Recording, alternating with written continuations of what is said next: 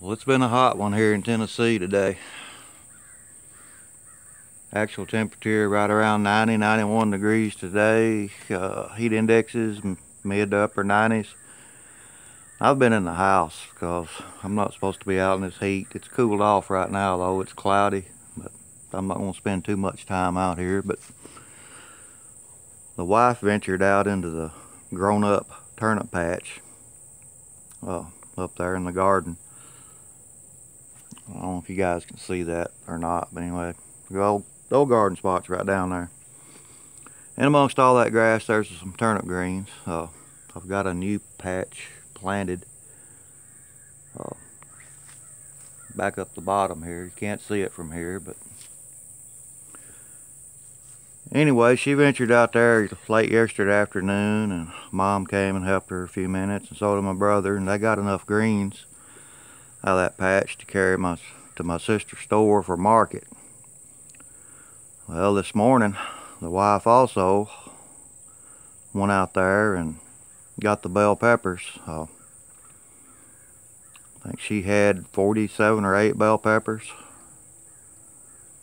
Uh, the big fist type. I mean, they're they're big grocery store type peppers. And I've been promising my buddy Tool Monkey over in South Carolina that I'd give him one of my secrets to growing big bell peppers. Well, brother, right there is it. It's called magnesium sulfate.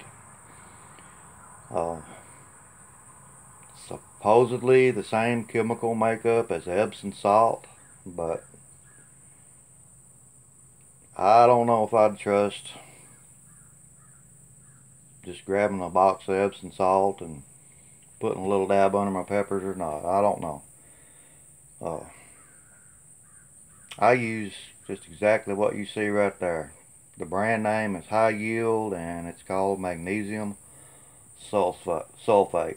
Uh, it's actually used for hydrangea bushes and stuff to help control yellowing due to magnesium deficiencies, but and to encourage the blooms.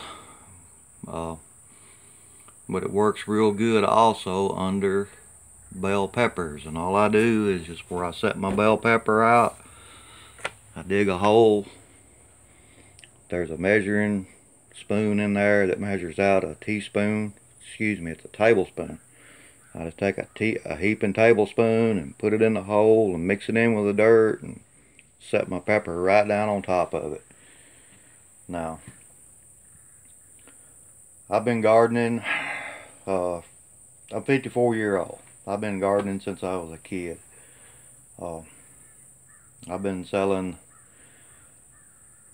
produce at market for years, you know, off and on. One time I had a pretty good business doing that. Uh, but now I just more or less do it for fun and my garden and you know what we don't put in the freezer or give to friends or family you know or can or what have you. I usually just sell the rest of my produce because like I said my sister does have a produce store. Uh, that's all she sells is produce. Well she does sell some baked goods and some meats and stuff but anyway most of my excess produce goes to her store and that's where those peppers went this morning and oh, that's the guy that's looking at his horses there. Those are his horses over on the hill. He checks about three times a day on them horses feeds them and what have you. Anyway back to the bell peppers. Uh, that right there is one of the secrets to growing a big bell pepper uh, before I started using that product right there, it was just hit or miss. But since I've started using that magnesium sulfate, like I said, one heaping tablespoon under each plant, eight, maybe nine out of ten of the peppers that come off of my pepper plants are huge. I mean, it's it's a big difference than what it was before. Uh, before, let's just say that there were 10 peppers on a plant, 10 actual bell peppers on a plant, three or four of those peppers might be big and the rest of them will be small and tiny. Well, not anymore. They're all big. I'm going to say at least 9 out of 10 of them are big. So, Tool Monkey, brother, right there's a solution for growing a, a big bell pepper. Magnesium sulfate. So, uh, oh yeah, this fertilizer that you guys see sitting right here, this is not where I normally store my fertilizer. I've got to get that back over there to the, to the other barn. Uh, fertilizer will do that to a bucket. So I gotta get this stuff out of here. Uh, I forgot about having that.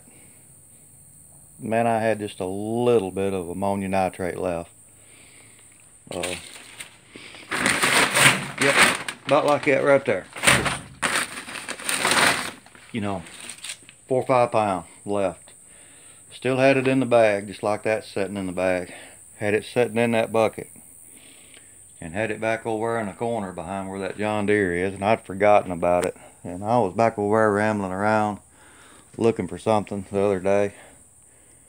And come across it and found it. Yeah, I've burnt my bucket. So, I got to get that back, fertilized back to where it needs to be. But, uh, I just wanted to share this real quick. This magnesium sulfate, uh, that's one of the secrets to growing a big bell pepper. Alright guys, I'm to get back in the house where it's cool. We'll see you.